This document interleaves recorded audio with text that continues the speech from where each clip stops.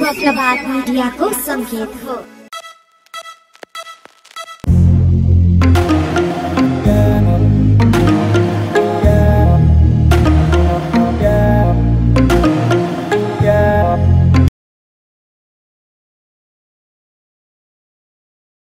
Corona सङ्कटको बेलामा फेरि अर्को विपद। कुखुराको मासुमै कोरोना भेटिएपछि सबैलाई सावधान रहन चेतावनी। कुखुराको मासुमा कोरोना भाइरस भेटिएको छ।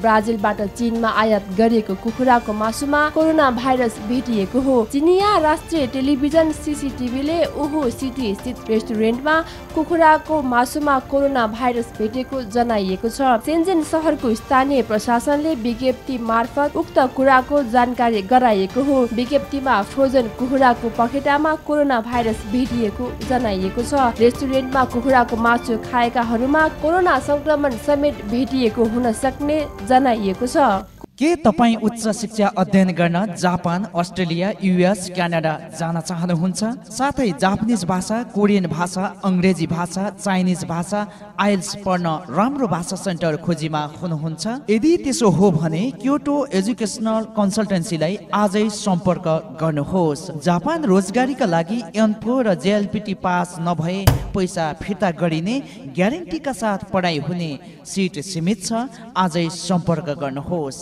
Mobile nine eight five one zero six one one eight three nine eight six one three one one three eight zero. Surya Binayak Bhaktapur. के तपाईँ रेडियो टेलिभिजन प्रस्तुता सम्बन्धी तालिम लिने तयारीमा हुनुहुन्छ? यदि त्यसो हो भने तपाईँको सेवामा समर्पित एक मात्र मिडिया हाउस शुभ प्रभात मिडियालाई सम्झनुहोस्। यहाँ आरजे भिजे उद्घोषण कला भाषण कला रेडियो प्राविधिक video editing personality development modelling vocal र डान्सको पनि दक्ष र अनुभवी प्रशिक्षकद्वारा तालिम गराइन्छ। सम्पर्क नम्बर अन्ठानब्बे एकाउन्न शून्य एकसठी एक सय त्रियासी। Head office Shri Binayak Bhaktapur